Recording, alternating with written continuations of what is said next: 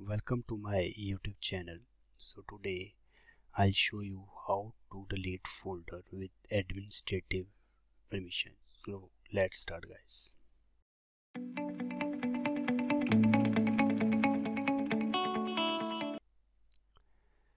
So this is the folder which i want to delete but it will show the permissions so how we will change this permissions without any changes.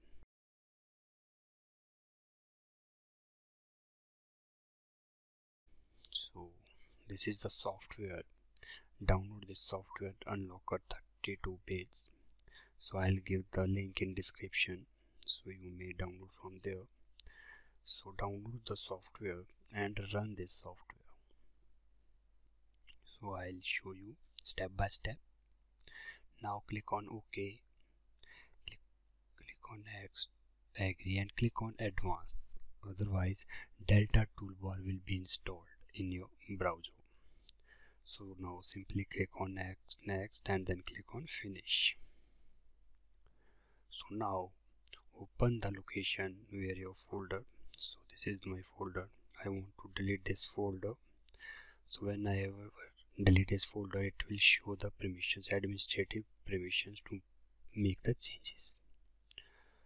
So now simply right click on it and I'll click on unlock. So here is three actions which is preferred by this software. It will show the delete rename and move. So I'll rename the name so I'll check. It have the permission to rename the folder because sometime we haven't any any permissions. So it have the permission to change the name. So but not for delete. So you guys see the permissions. So now simply right click on it and click on unlocker and select the delete action and click on ok.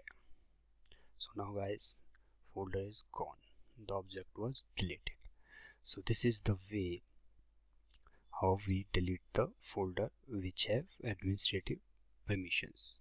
So after that you may click on recycle bin and empty it. So this is the way. So thank you for watching this video. Thank you very much